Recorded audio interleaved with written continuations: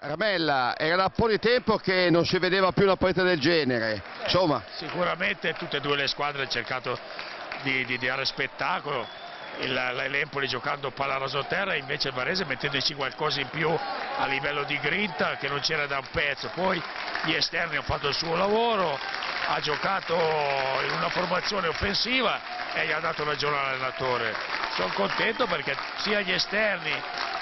che, Neto Pereira è tornato dietro la punta, ha fatto il loro dovere e ha subito anche poco sinceramente perché solo due o tre azioni hanno avuto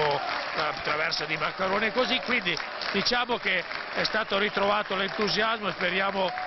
speriamo che arrivi fino alla fine. l'ultima domanda, la classifica un po' bugiarda secondo me, l'Empoli un po' più su, il Varese dove si trova nel sabbia mobile, una partita del genere un po' bugiardo i risultati. No, però vediamo che l'Empoli tutte le partite le ha giocate, ha giocato anche fino adesso, non ha mai buttato via il pallone, quindi merito all'Empoli, però il Varese oggi ha meritato di vincere e speriamo che,